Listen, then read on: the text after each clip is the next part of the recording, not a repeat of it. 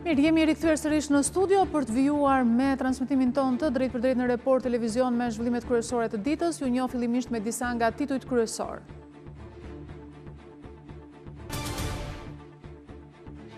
Në dosjen e operacionit Kurrë mos harro, si rezultat i të cilit 12 vetë u arrestuan 4 në kërkim dhe 6 vrasje u zbardhën, i penduari Artan Tafani, midis të tjerash ka treguar detaje se si e vranë Alban Semakun, i njohur edhe si Elton Kinezi që për grupin e Laert Haxhiut njihej si ushtar i bandës së Aldo Bares.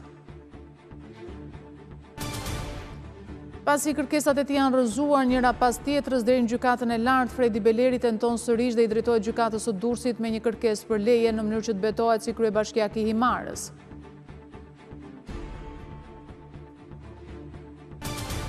Alfred Vefa u gjet i vetëvrarë nga policia italiane që e kërkonte për vrasjen e gruas së tij shqiptare Klodiana Vefa, nënë e dy fëmijëve.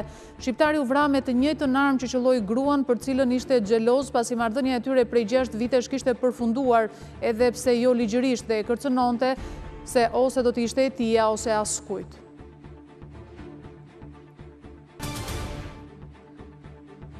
Një grua shqiptare 50 vjeçare ndërroi jetë në mënyrë tragjike pasi u pre nga makineria e mishit në një dyqan në Mesolongji, ku ishte e punësuar për të pastruar makineritë bashkë me të bijën.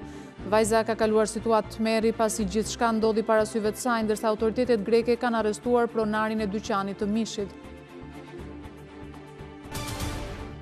Fshati Pojan, vetëm 7 kilometra larg Fierit është braktisur nga banorët dhe të vetmit që sheh janë turistët që kalojnë për të shkuar në parkun arkeologjik të Apolonisë. Popullsia sa vjen e bie dhe të vetmit që gjejmë në fshat janë të moshuar të pushtuar nga malli për fëmijët që kanë emigruar.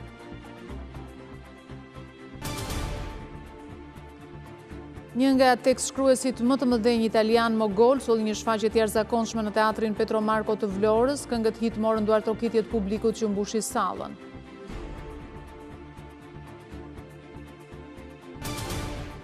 Art, kulturë dhe spektakël, rubrika Ciceron në Report Televizion, liston aktivitete që mund të ndiqni këtë fundjavë në Tiranë dhe në disa qytete të vendit, siç është edhe panairi i trashëgimisë në Ersekë.